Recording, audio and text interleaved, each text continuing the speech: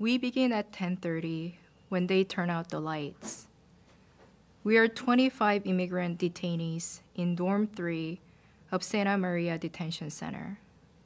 We're manicurists, nannies, orange pickers, cooks, medical assistants, and cleaning pros.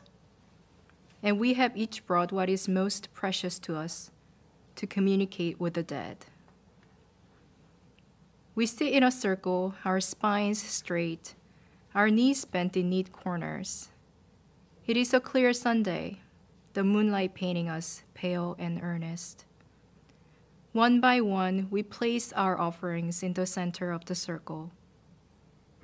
We imagine a heap of extravagance candied apples with stick handles, a tin of loose chamomile flowers, loud and impractical hats.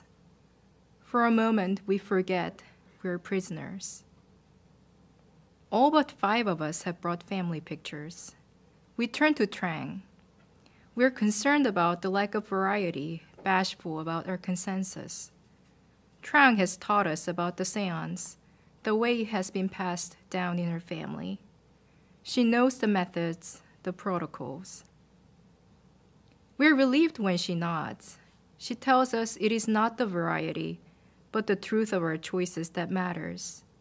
We nod. Pooja has brought her only pair of glasses. Natalia has brought her rosary.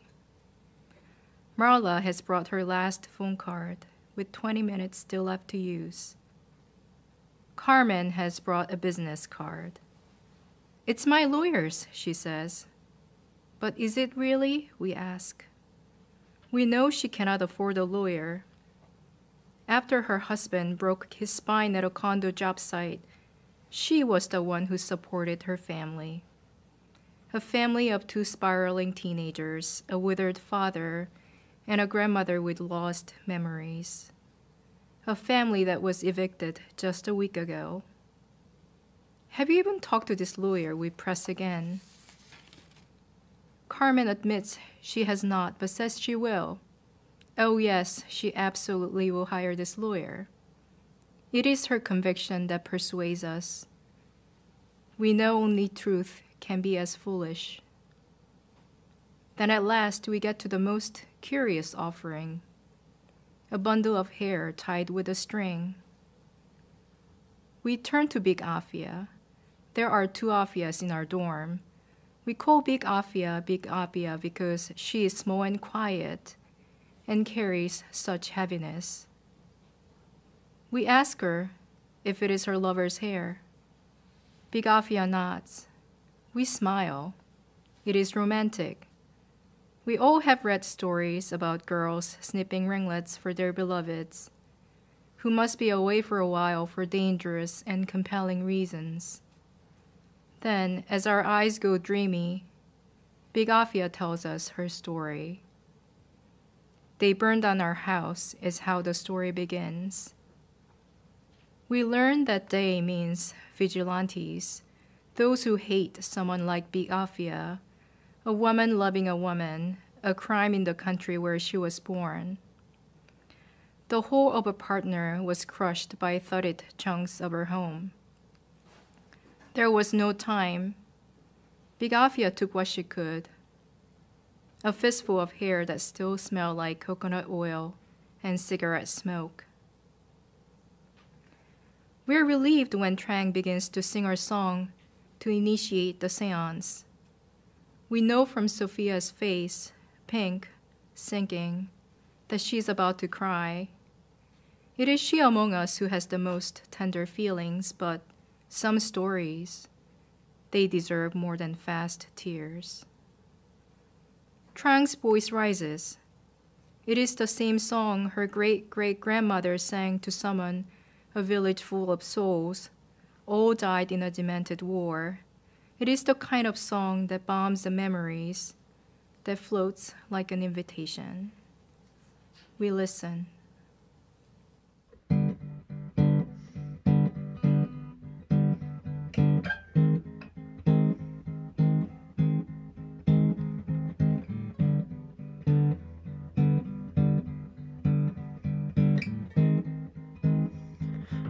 Imagine heap of extravagance. Can't the apple dream?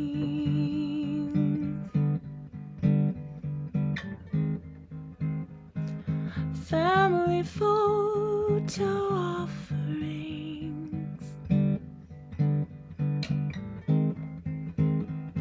to wake the dead from sleep.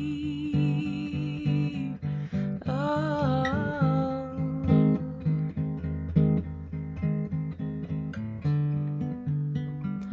Gathered in this barren place, oh, where we we are kept like rats.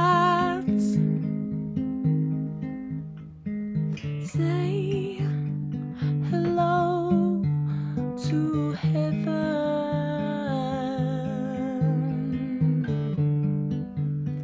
Can you imagine? Can you imagine that?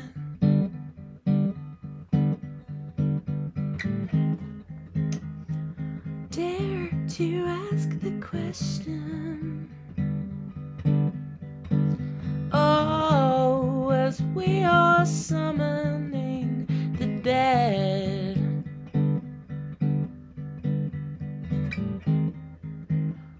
The words won't leave your lips for fear of what's instead.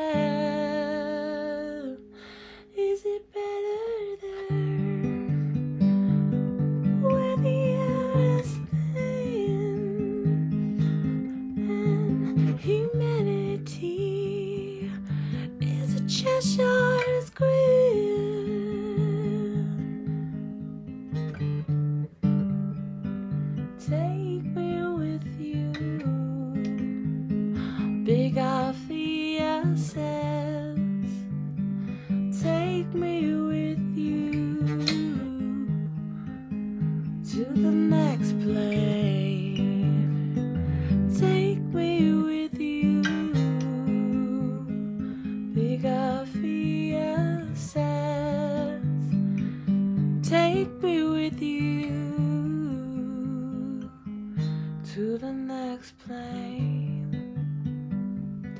to the next plane.